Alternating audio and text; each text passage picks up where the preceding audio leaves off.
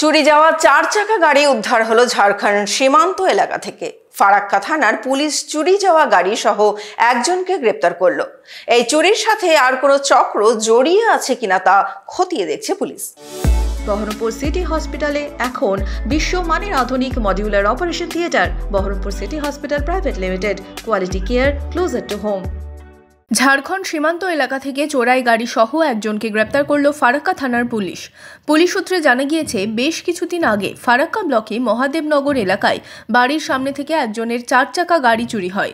ফারাক্কা থানায় অভিযোগ দায়ের করা হলে তদন্তে নামে পুলিশ। শুক্রবার ফারাক্কা থানার পুলিশ ঝাড়খণ্ডের সীমান্তবর্তী এলাকা থেকে চুরি যাওয়া গাড়িটিকে উদ্ধার করে।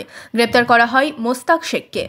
ধৃত মোস্তাক শেখ ফারাক্কা জিগরি এলাকার বাসিন্দা বলে পুলিশ সূত্রে খবর। এই গাড়ি চুরি চক্রের সাথে আর কারা কারা যুক্ত তা খতিয়ে দেখছে পুলিশ। ধৃতকে শনিবার জঙ্গিপুর কোর্টে পাঠায় পুলিশ। একজন স্করপিওর মালিক, আজ ফারুল হক। এর বাবার নাম শেতাব শেখ, এর বাড়ি মহাদেবনগর, ফারাক্কা।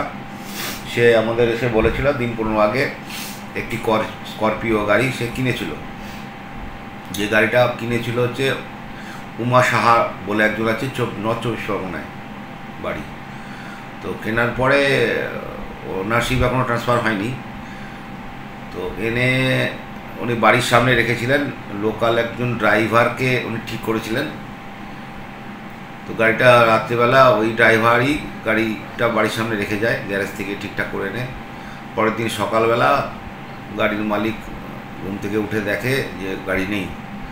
তখন আমাদের থানায় একটা অভিযোগ করেছিল এবং সেই অভিযোগের ভিত্তিতে আমরা গাড়িটাকে রিকভারি করেছি এবং যে কাজটার সাথে যুক্ত ছিল তাকে আমরা অ্যারেস্ট করেছি। তাকে আমরা কোর্টে ফরওয়ার্ড করছি চোদ্দ দিনের রিমান্ড প্রেয়ারে এবং এর সাথে আরও যারা যুক্ত আছে, তাদের আমরা ধরার চেষ্টা করছি। মধ্যবঙ্গের সমস্ত খবরের দ্রুত আপডেট পেতে সাবস্ক্রাইব করুন আমাদের ইউটিউব চ্যানেল মধ্যবঙ্গ নিউজ সমস্ত খবরের দ্রুত নোটিফিকেশন পেতে বেল আইকনে ক্লিক করুন।